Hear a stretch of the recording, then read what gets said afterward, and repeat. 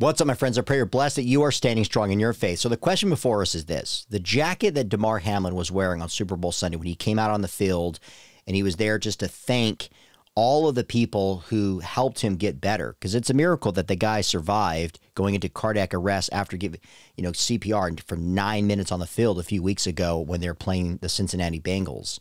Well, he came out of Super Bowl Sunday, and of course the crowd, everybody was celebrating the fact that he's alive.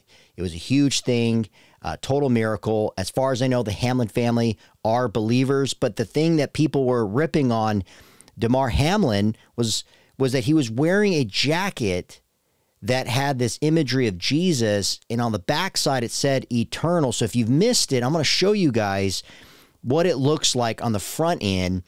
And during this time when he was wearing this, he was being embraced, as you can see, from all of the people at the hospital. And of course, a lot of the medical uh, staff at the Buffalo Bills, they're just giving him hugs and so amazed to see how well he's doing afterwards. But the big, huge thing was that he was wearing a blasphemous jacket. The Christian Post was responding to this whole thing, saying, Did Damar Hamlin wear a jacket mocking the death of Jesus Christ during America's biggest sporting event?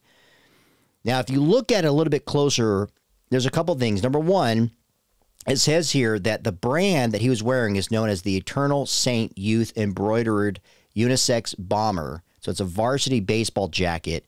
It's designed by Kanye West, who professes to be a Christian. It sale, you know, sells about $175 online. Some people are saying it's $3,600. But here's the point. Okay, so let's just break this down because a lot of people are coming out saying it was blasphemous. Like I said, as far as I know, the Hamlin family profess to know Jesus Christ as Lord and Savior. So let's get into this and see if, in fact, this is blasphemy. There's a lot of people already on YouTube saying that it is, and they were counting all the ways as to why they believe it to be the case. Now, it says the jacket has the word eternal stitched above what appear to be reproductions of flannel Velcro characters commonly used in Sunday school lessons. The central character was a crucifix of Jesus with a bizarre, almost grotesque, cartoonish rendition of his face and blood dripping from his hands and his feet. Okay. Now, here's what we have to understand is a couple things. There is a style, okay? So one person says Damar Hamlin was not wearing a satanic jacket, okay? So number one, was not satanic. Number two, uh, is it blasphemous? Let me just say this. Would I wear something like this representing my faith in Jesus Christ as my Lord and Savior? No. I do think that some of this soft versions of Christianity or you know again iconoclastic stuff when you're when you're trying to frame uh, visions or imagery of Jesus could be very dangerous. It could become sacrilegious. It could become idolatry.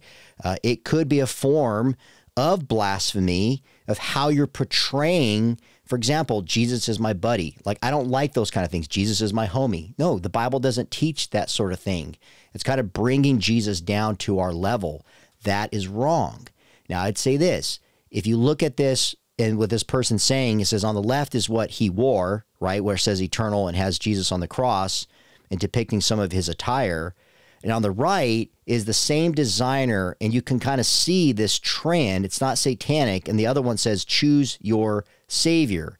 Well, if you go, uh, you know, a step further, and you go to their their website here, uh, Takeshi Makarimi, if I'm saying their name right, men's outwear listings. You can see it right here. Uh, the jacket that he wore because of the popularity of it now it's gone up to $6000 okay so this is a varsity stadium jacket you can see the front cover of it here but again you can also see different designs that this company or this designer puts together and so they're kind of splashing this kind of you know retro you know, uh, kind of bizarre Picasso looking mixture of Jesus and his faith. So the question is is this blasphemy? Well, let me just say this. Number one, in reference to what his quote was saying on the front, okay, and that's something the Christian Post here was talking about, says, without end or beginning, there is no day and there is no night. Okay, it's stitched on the in, in cursive in his front. And and you know as as far as we can know this is referencing maybe two key passages in scripture. Again the the, the word eternal was on the back over arching the imagery of Jesus on the cross the the the one verse we can allude to possibly that that the jacket was representing is Hebrews 7 3. We're talking about Jesus comes from the line of Melchizedek. It says, He is without father, mother, or genealogy, having neither beginning of, of days nor end of life. Okay, that that may be referencing what was on his jacket. Again, not satanic. Okay. The other one is Revelation 22, verse 5. In night will be no more. They will need no light or of lamp or sun, for the Lord God will be their light, and they will reign forever and ever. So here's the bottom line. And this is what I want to kind of end with all of us uh, right now. We cannot overlook the fact that Damar Hamlin professes to know Jesus Christ as his Lord and Savior. That's all I know. Okay. I saw the interview he did with Michael Strahan, how he believes that God, I know that it could be general or generic, but let's give him the benefit of the doubt because he's a believer in God and he believes that God allowed that to happen to him. And through this, God's going to use it for his glory, not Damar's glory, but for God's glory. So he recognizes that. The other thing I'd say this we can so quickly jump to conclusions. I wouldn't personally wear something like this, okay? But we also have to understand where people are at in their sanctification and their relationship with Jesus Christ, their maturity level. You know, maybe Damar, it's, just a style, and he was showing it. He was trying to show in, in a very colorful way um, his faith, and and wearing it literally on his sleeves to let the world know that he is a Christian man. Okay, if that's the case, which it seems to be, because Adrian Peterson went after him and was like, dude, that's not cool. That was blasphemy. Then he contacted him afterwards and, and he said afterwards, hey, you know what? I was wrong. That was not Damar Hamlin's intent. He was not trying to blaspheme the name of Jesus Christ. Okay. So let's leave it at that. And the last thing to say before I get out of here is in James chapter 4, we are told, verse 11. Notice what this says. It says, Don't speak evil against each other dear brothers and sisters. If you criticize and judge each other, then you are criticizing and judging God's law. But your job is to obey the law, not to judge whether it applies to you. God alone, who gave the law, is the judge. He alone has the power to save or to destroy.